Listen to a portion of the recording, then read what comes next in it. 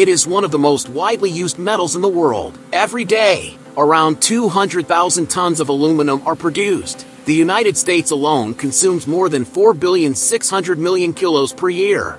To meet this enormous demand, millions of tons of ore must be processed. But how does a reddish rock transform into one of the world's most valued metals? We visited the largest bauxite mine on the planet to discover how aluminum is made and where it comes from. Civilization could not survive without it. This engineering marvel is everywhere. It is an integral part of airplanes, cars, and high voltage cables that deliver electricity to our homes. Unlike iron, which rusts and deteriorates over time, aluminum forms an oxide layer on its surface that protects it from corrosion. It is three times lighter than steel.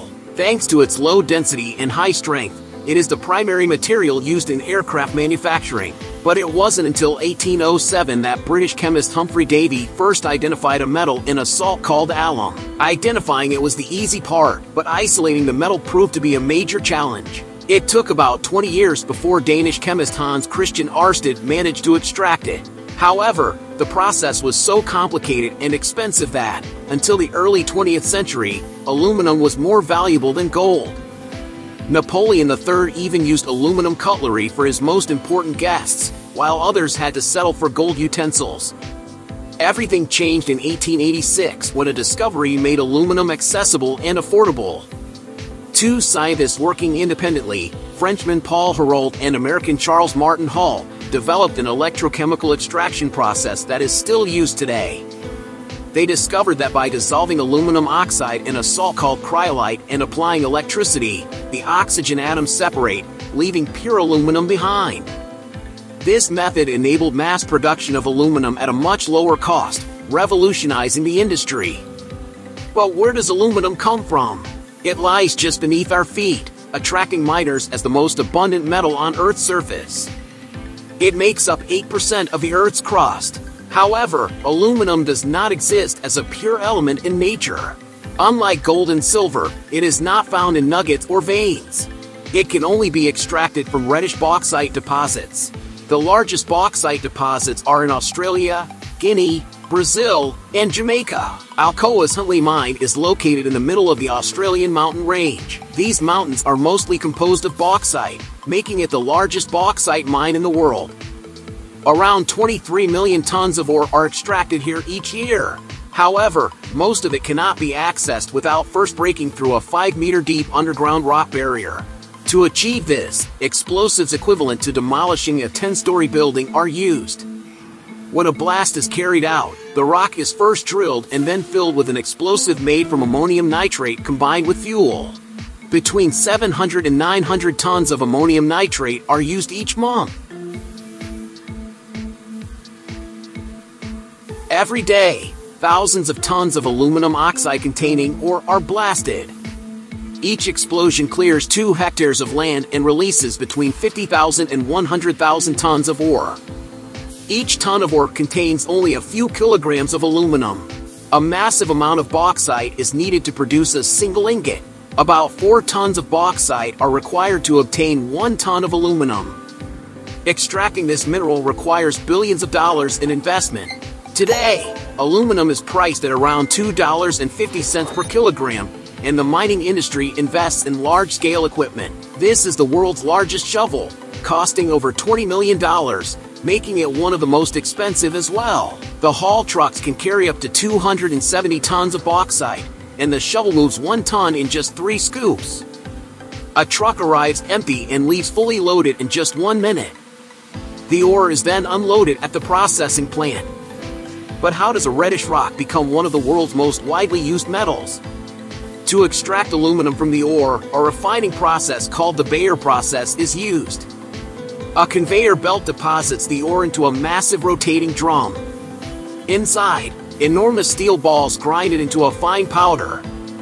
The bauxite powder is then mixed with a caustic fluid that separates the aluminum oxide from the sludge, resulting in a concentrated aluminum oxide solution.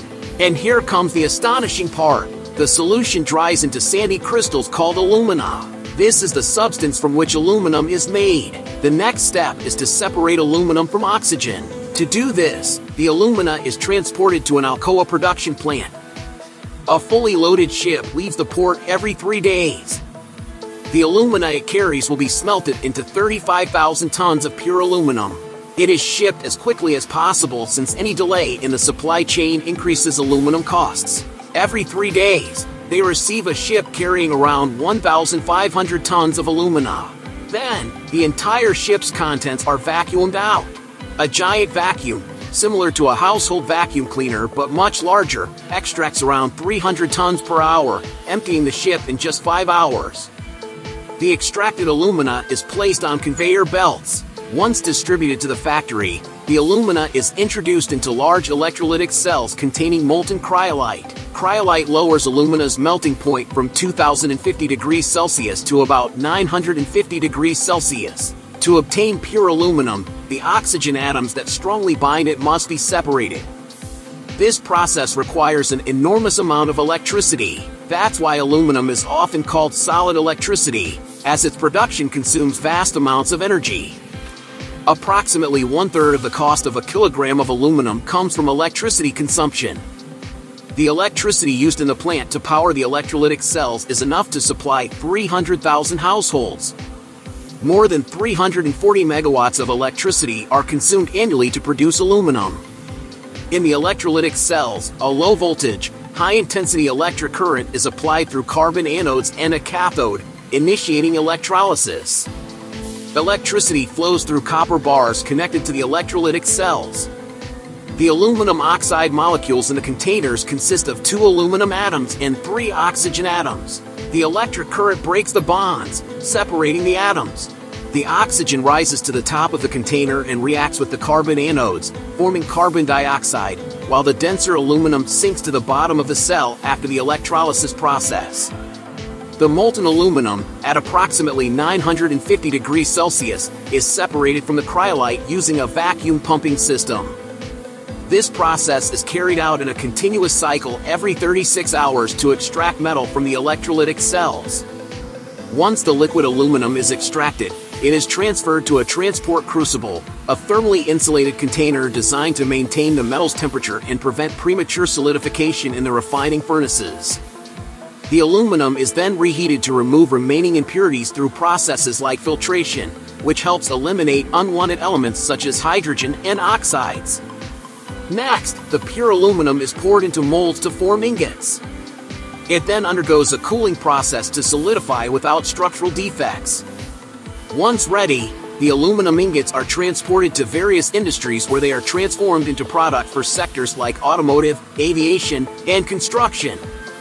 Like the video if you enjoyed it, and share it with someone who might find it interesting. Also, subscribe to this channel and turn on notifications to keep learning.